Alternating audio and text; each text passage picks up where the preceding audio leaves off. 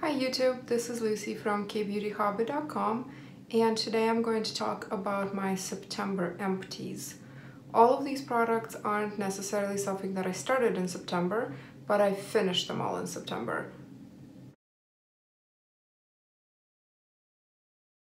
The great thing about empties videos is by the time you get to the bottom of the tube or bottle, you've had a lot of time to form an opinion about the product and I feel like those reviews sometimes are even more beneficial than the ones that are done while the product is still in use. The first product I have is the Klairs Gentle Black Cleansing Oil and if you've never used a cleansing oil before the purpose of them is to dissolve anything that is oil soluble so makeup and sunscreen are the best probably examples of that so you use a cleansing oil on dry, dirty skin with dry, clean hands, apply it, massage it, then add a little bit of water. The cleansing oil emulsifies and usually turns white.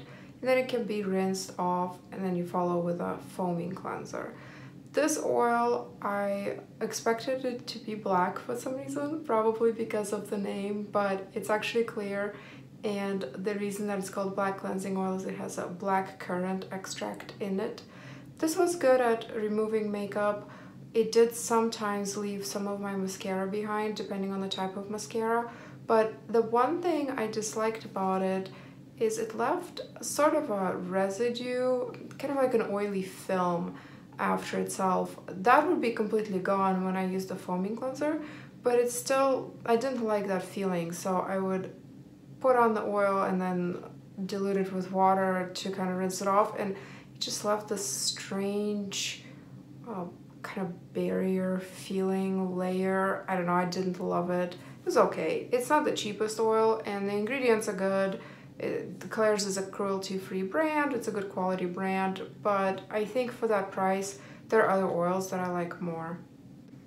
For those who enjoy the benefits of an oil cleanser, so thorough removal of makeup and sunscreen, but maybe they don't want to spend the time that it takes to double cleanse, there's a series of products, the two-in-one cleansers, and I went through a trial sample size of one of these.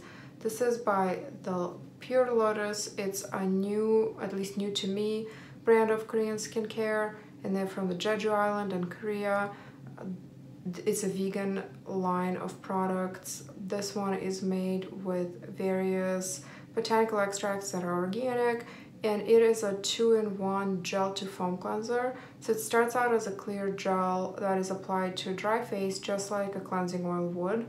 And then after massaging it for a bit, you add water and it foams. And then you, it becomes a foaming cleanser, you foam it, massage it a little bit more and then rinse off and your cleansing is done. This is obviously somewhat a small size. I was sent this by a company called Bemused Korea and it was enough for several uses. I took it on our mini vacation that we took in September and it was nice and convenient to just have this and not worry about a cleansing oil. So I liked it, but obviously this is a small size so I can't really have a thorough review of it, but I liked what I saw. Next product I have is a more traditional foaming cleanser by the brand Yadah.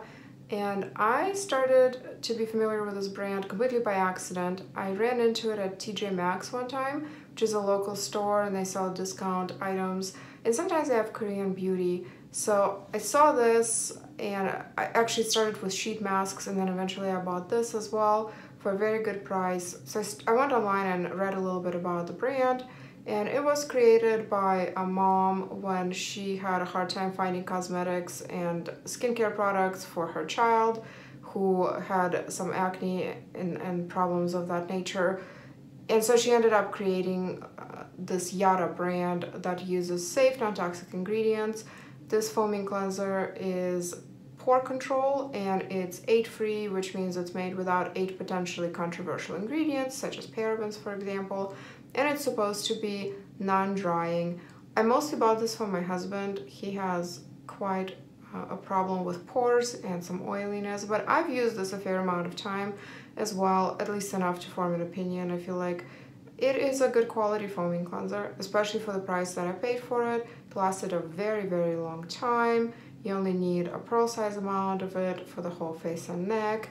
And it wasn't harsh at all. So I'm uh, not very picky when it comes to foaming cleansers. I don't expect them to perform miracles. The main things I want them to do is to remove the residue of the oil cleanser and to not dry the skin out and this definitely fits the bill. Sticking with the cleansing product route, I have this Giibon Care cleansing pads. I won these ones in a giveaway and actually ended up really, really liking them very much, which is why I'm out of them now. It is kind of an all-in-one cleansing pad. They had a slightly embossed textured side and a smooth side. They're advertised as being able to be just a one-step skincare that would take care of your cleansing and even your toning. I have a full review on my blog. I'll leave it in the description box below. The way that I use them mostly is sometimes when I come home from work or when we were um, just out and about and I would feel like my face needed a pick-me-up, a little refresher, but I didn't want to completely thoroughly double cleanse it and redo all of my skincare. I'd use these pads to just wipe off kind of the, the grime of the day before I'm ready for a full cleanse. They do work well at removing makeup. I don't recommend using them on the eyes. I did get the solution into my eyes as I got to the bottom of this little jar. The pads on the bottom were obviously really, really wet with the solution and some of that got into my eyes and that stung. Um, but they were very nice. And another kind of pro tip on using these if you have kids and you put sunscreen on them, which of course you should because everybody should wear sunscreen all the time, well, sometimes it's really difficult to remove sunscreen, especially since for kids, or at least I prefer to use physical only sunscreens for myself actually and for the children as well. Well, that leaves sometimes a white cast, it can be hard to remove. You really should use an oil cleanser. Well, these take off all of that white residue and then I would just rinse it off. With any kind of cleansing pad or micellar water, even if the manufacturer says that it doesn't have to be rinsed off, I still choose to rinse off because sometimes there's surfactants or other ingredients in the pads that might irritate the skin if, if it's left on for a while. So I like to use them and then just rinse off. But these were really good. They're very convenient and especially for travel because this is kind of a one-step cleanse. Speaking of SPF and white cast, this is my empty or maybe it is maybe there's enough for one more use but this is by the brand Etude House. It's their Soon line and this is their sun mild defense sun cream. The, the whole Soon line is made for people with sensitive and acne prone skin. It is made without fragrances and with ingredients that shouldn't trigger any kind of bad reaction. While this sun cream for my combination skin was quite heavy, it definitely replaces completely the cream step for me. So it combines the cream and the SPF step. In the fall and winter, it was quite good. When the air is dry and it's cold outside, it is heated and very dry indoors. This was pretty good, but still a bit heavy. I did not like to waste product, so I used it throughout the winter. And now in the summer, I was trying to use it up, and that does not work for me in the summer at all. I mean, it just cakes on, and when I go outside, it becomes just kind of oily. There's not really a lot of white cast. I'll give it to them. That's a good point, but this is probably more for people with dry skin or dry to normal skin. For my combination skin in the summer, this is a disaster. In the fall and the winter, it was okay. But I do appreciate that it is a completely physical filter sunscreen, that it has only good ingredients that are okay for all skin types, including sensitive skin. Um, so if you have dry skin, try it out. It comes in different sizes. Uh, sometimes you can get like a travel size of this if you're just cautious and want to try it before committing to a bigger size. Next I have two scalp care products. This one, oops, I showed this one in my how to grow long and strong hair video. I will put a link down below to that. It is by a brand called Aromatica and that brand is new to me they caught my eye because they use only safe ingredients and a lot of organic ingredients. And this is an exfoliator for your scalp. So scalp obviously is skin and all skin should be exfoliated to remove debris and dead skin cells and allow the other products in your routine to work as well as they can. This one had big granules of salt in it, very interesting texture. Reminded me of a traditional shampoo or maybe even traditional conditioner, but with the salt mixed in. And it is applied to wet hair, can be before or after shampooing. And then um, add a little bit of water, massage it in. The salt dissolves as you massage. If whatever didn't dissolve, just washes away when you rinse your hair um, smelled like rosemary and I love it. I did donate 10 inches of my hair in September and now I am back to growing it out again. I'm quite lazy. I don't want to get regular haircuts. So I am definitely paying a lot of attention to scalp care because that is where healthy care starts. And another scalp care product, this is a regular, it's a favorite of mine. It's by the brand called Lador.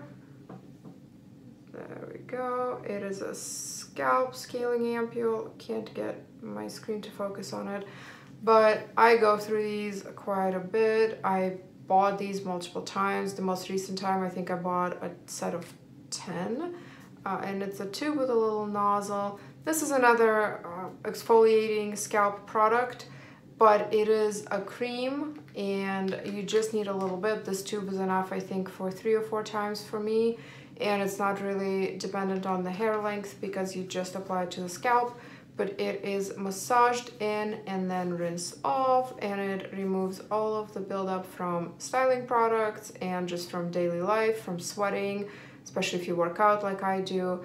And it's been a wonderful wonderful find for me and I will probably keep buying it all the time although I do like the feeling of products like that Aromatica scrub where you have the actual granules kind of massaging the skin. In September, I used 12 sheet masks. At least I hope I counted that right. I'm an accountant by day, so if I made a mistake, that would be really embarrassing.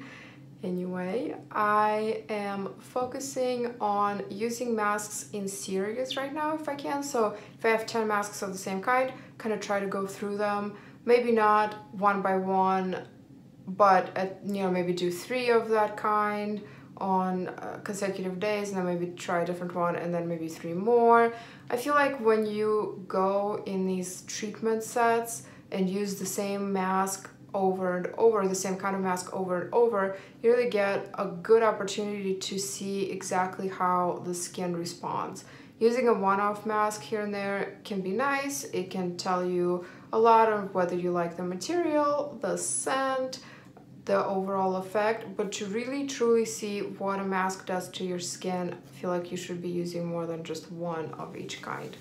So I have finished my box of these Atopalm Real Barrier Soothing Gel Masks. I talked about them in my redness video.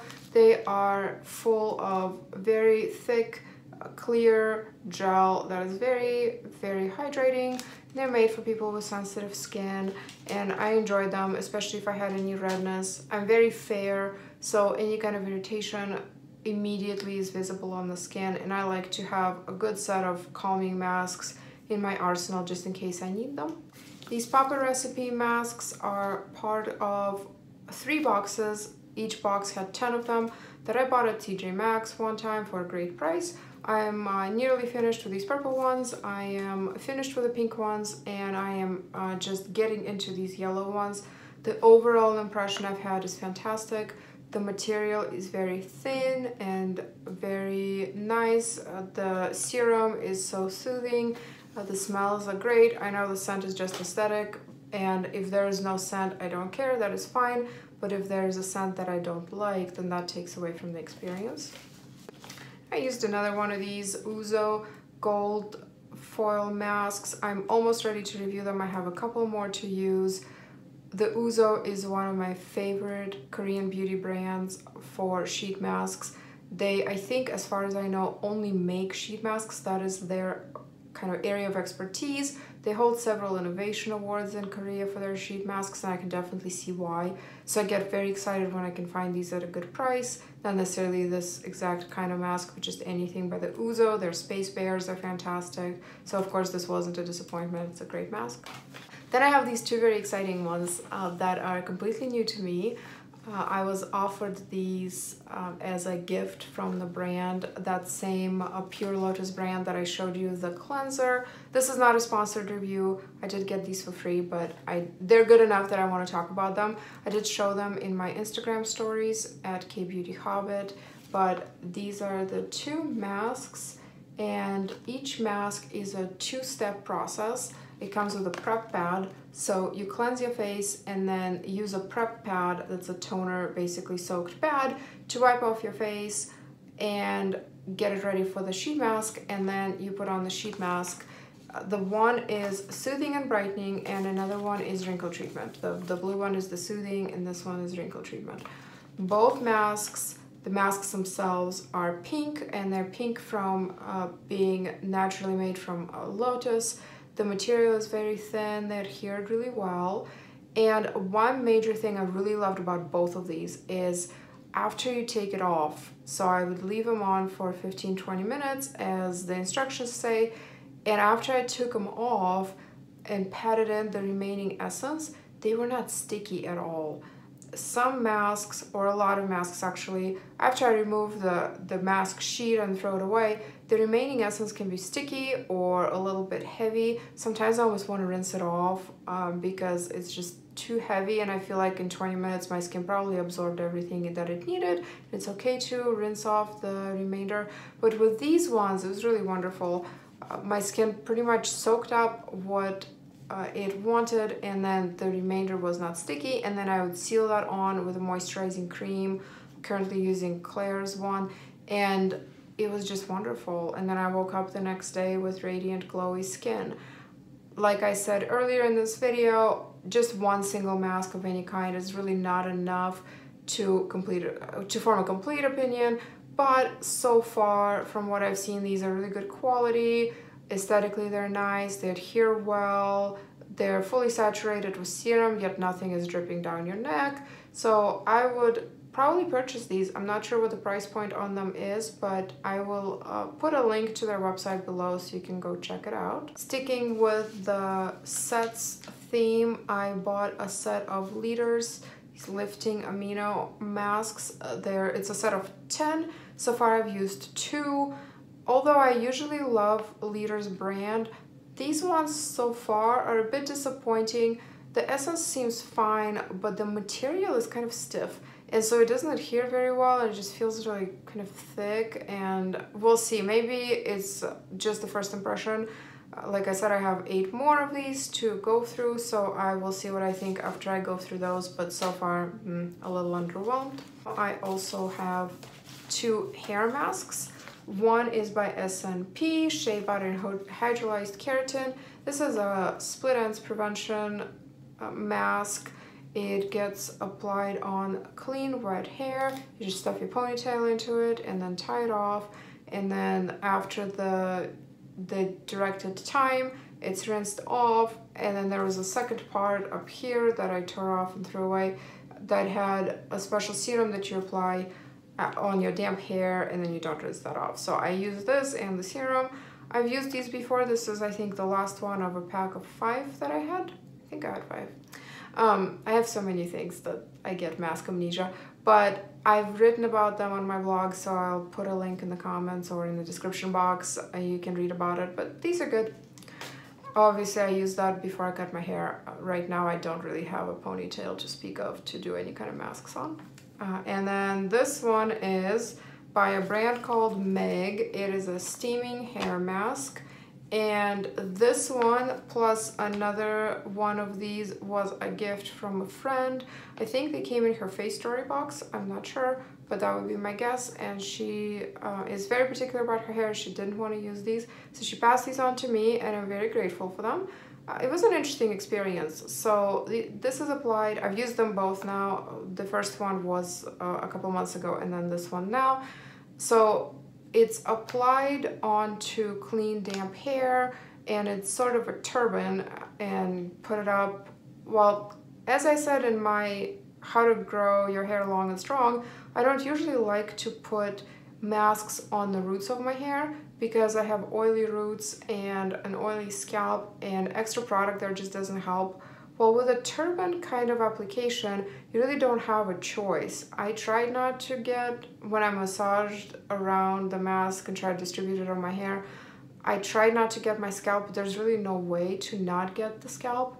And I, yeah, I appreciate the gift. So that was very sweet and very nice and I've used these two and they just were a little too heavy. It might be just because I have oily scalp, maybe for somebody with dry, dry scalp and dry hair it would have worked better, but they were okay. Uh, not my favorite. I prefer either masks that come in bottles that I can apply about from the ear level down or like the one that I showed by SNP where the mask part is only going on the ponytail, but either way, I'm very grateful for these. I love trying stuff and I think having negative experiences is just part of it. If you'd like more reviews, go to my website, kbeautyhobbit.com. There's a little search feature that I recently put on uh, where you can search by keywords or you can search by hashtags over anything that you want. Hopefully that's useful. I have an Instagram at kbeautyhobbit where I post all kinds of things review alerts, some stories, uh, and sometimes I do little polls. Please let me know in the comments below what you thought about this video, whether or not it was helpful, and especially please comment if you have suggestions on video topics that you would like to see. I work for you, so you tell me what you would like to see, what kind of content interests you, what is useful. If you have a minute, drop a comment below and let me know where you heard about this channel. Did you see it on my Instagram or are you in my Korean Beauty Fanatics group or did you see it somewhere else? Please let me know because I'm always curious where the people are coming from. I appreciate every single one of you. Thank you so much for watching. Thank you for taking the time to listen to me and I hope you have a wonderful day. I will see you next Saturday. Until then, please remember to always listen to your skin.